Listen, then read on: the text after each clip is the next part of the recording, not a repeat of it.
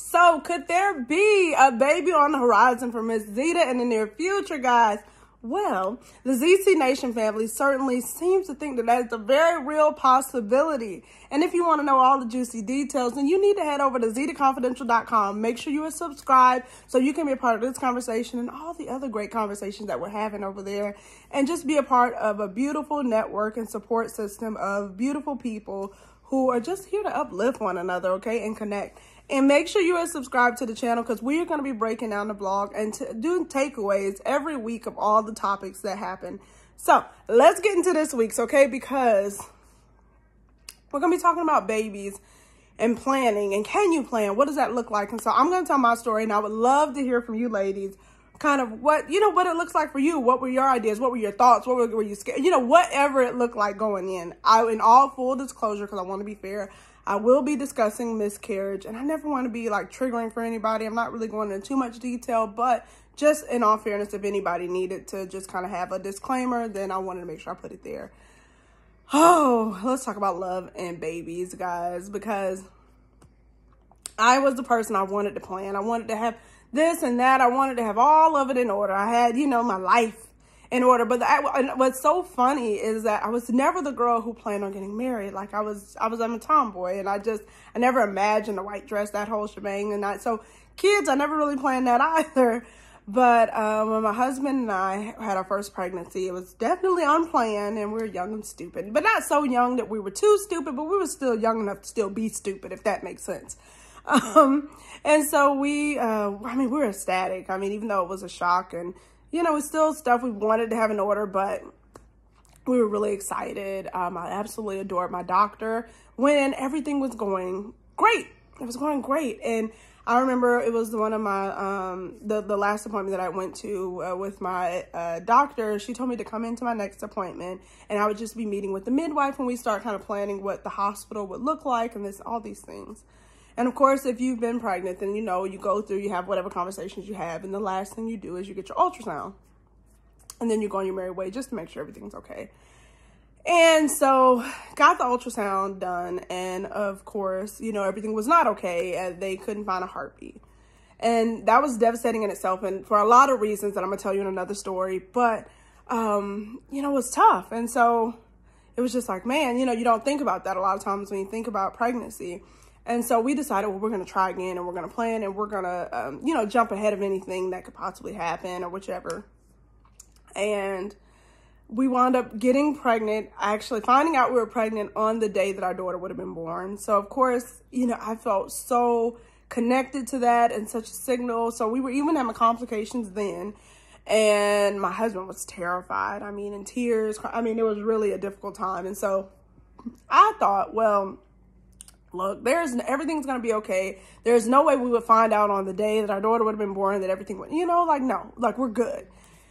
And you know, we weren't. So we did uh, miscarry then, but I I was I mean I was I was devastated. I'm not gonna tell you about no positivity in this moment, y'all know. like I try to walk in positivity, but I was a wreck. I was I was just devastated. And I was like, you know, I'm gonna plan. I'm gonna plan. We're gonna do that. This is not you know, and I almost to the point where I got obsessive and nothing happened. I didn't get pregnant. And finally, I just remember waking up one day and I realized how much it was consuming me. And then I thought back to just how my husband and I met, like, and how unorthodox in some ways that was, and how it just happened, and how just I mean, it was not like your typical story. It was like, you know, and so it was just like, you know, but that turned out okay. But you know what you were doing. And I literally, God had to speak to me and just like, you know what you were doing? You were living life and you were being okay.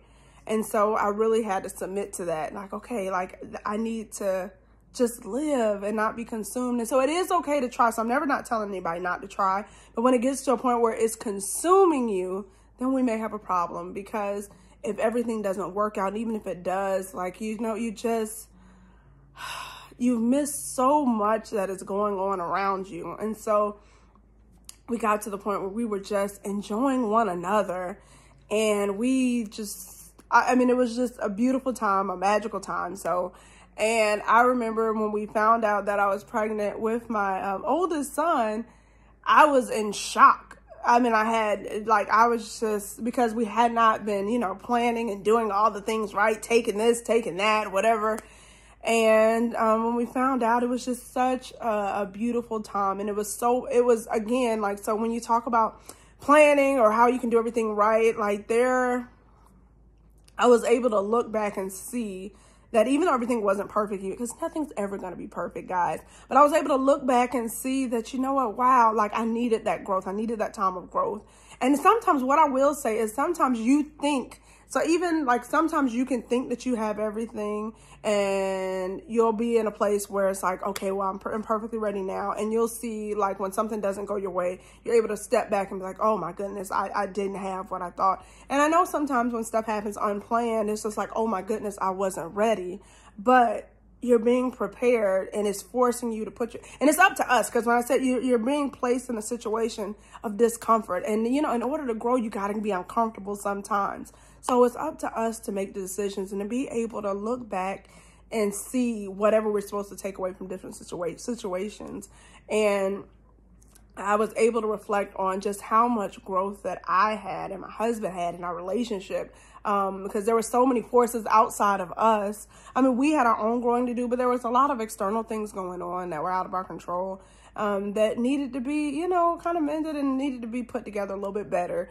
And it just, uh, we were able to welcome a baby into peace. And so that was a beautiful thing. And so, of course, you know, like, you know, whether you like you get a certain age, people ask you, are you, well, when are you going to have babies or what's happening? What's the plan? You have one baby. Then the next question is, well, when's the next one? And so we tried our best. Not like this time we were like, we're not going to get consumed and trying again. If it happens, it happens. Well, um, you know, there was some stuff in between, but it didn't happen until six years later. it didn't happen again until six years later. And I mean, really, like it was completely out of sight, out of mind. Like we had forgotten about it to the point, y'all. And I'm just telling you guys, like, I was actually, we were actually out at brunch. Uh, we were out at brunch and, and this Georgia heat can get real. But I love to eat outside, like when it's warm, even when it's too hot. But nonetheless, we're outside eating brunch. And of course, you know, I'm going to have me a little cocktail, like out as we're sipping. That's what you do at brunch, right? And I got so sick, but I hadn't really been drinking like that. Like I really kind of just given it up, which is a whole nother story in itself. But I really given it up. But this particular day, I said, oh, I'm going to enjoy myself and have a drink. And I got so sick, but it never registered in my brain pregnancy. I was like, oh my God, look at stupid me. I'm out here drinking in this hot sun, about to have a heat stroke because I just start vomiting. It was awful. And so um, some days go by and my period's late. Again, still not thinking pregnancy because y'all, it's been six years, okay? Six years. And so I'm like, okay, so I, I, I had a pregnancy test laying around. Like, I, so I took it and actually, I forgot I took it. And I know, like, it, it, was by the grace of God, like, I didn't let too much time go by so I would be out the loop. But I actually came back, like, trying to clean up something or whichever, um, or I needed something and, you know, whatever in the bathroom. And I came back and I was like, you know, oh my, like, what? I called my husband immediately. I was like, I am pregnant. Like, and I, I mean, just complete shock. Um, but like y'all, like again, divine timing because it happened when it needed to happen. I needed those six years with my sweet boy. Uh, and we had just sold our house when I found out when I found out I was pregnant. We had just sold our house, so we're moving into a new house. I don't know when you have a child, and, and I don't know everybody. You can let me know whatever your experience is.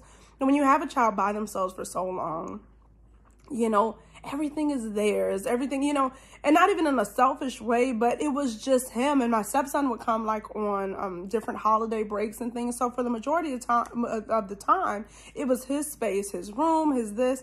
And so when we found out we were pregnant, I really, I was like, okay, this is a beautiful opportunity for us to go into a new home, a new space, and everybody can grow together. This is us and a new experience together. Um, doesn't mean I didn't have any fears or, I, you know, I had a lot of that still going on. So I'm not being unrealistic with you guys. But then also, we decided to go into business for ourselves. So, and I'm giving you the idea, I'm painting the picture because when we talk about planning, you can only do so much. That's why you just really got to submit. So we decided to go into business for ourselves. I know pregnant, why in the world would you decide? Look, hey, stuff happens, okay? But we decided, you know, we're to, my husband wanted to walk away from corporate. Let's go into business for ourselves. So we did. And that was November 2019. we planned, so we plan, right? Because when you're planning, you're trying to do all the things that you can do to make sure everything's right. We plan for recession, you know, as you do, like anytime you're doing business models, you have to plan for that kind of stuff. We, there is no way in this world we could have planned for a pandemic, okay? Plan for recession, not pandemic. so we were totally prepared for a session in some ways, as much as one could be. Pandemic happens literally the week I give birth to my youngest son, the week after everything shuts down. So again, I could have planned to the high stars, had a high heavens, but there was no way. Sometimes life happens and you just got to go with it. But the beautiful thing about children is they just want to be loved. They don't care. They genuinely don't care. It's a learned behavior, but you set the tone.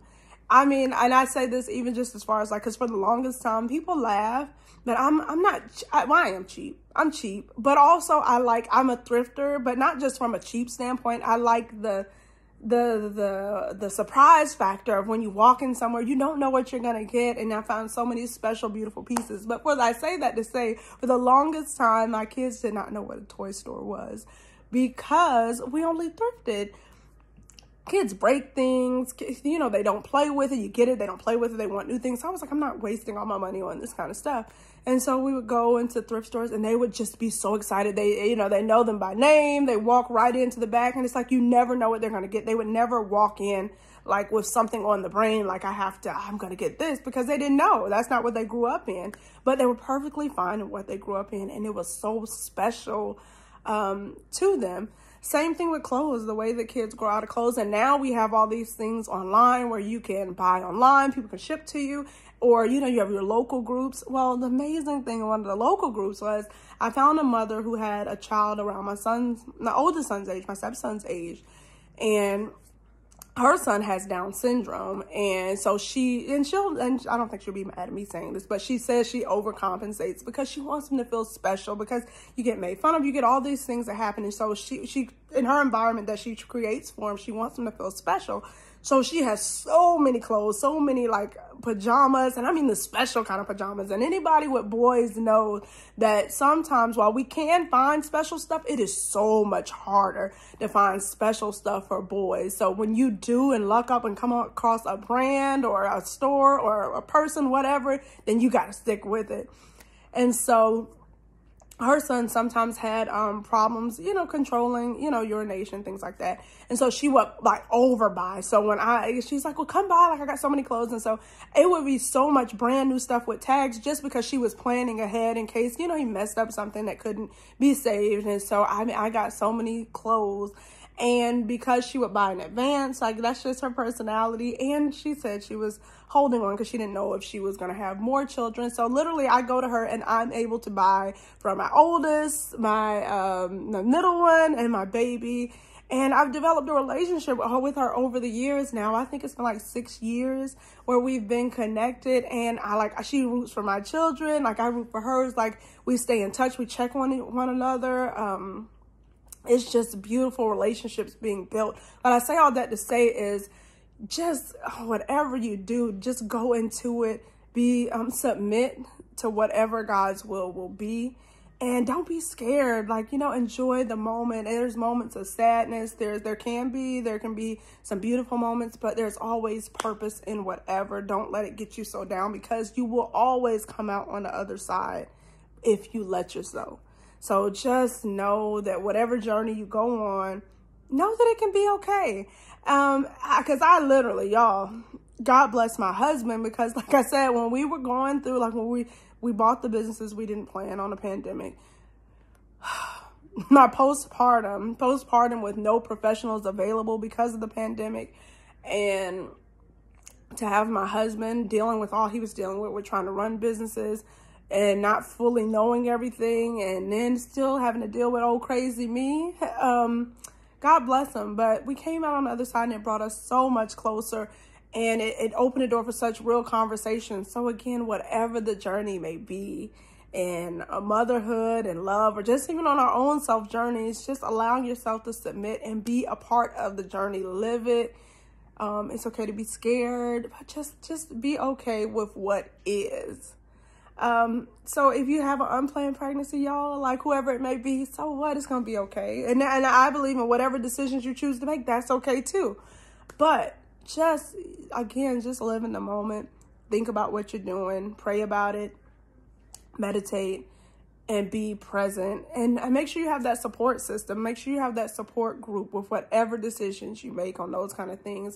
But again, ultimately, you got to talk to higher power, you got to talk to God, and you got to talk to yourself, sit with yourself, and then also look out for that support system. You guys let me know what you think on your baby journeys. What does that look like?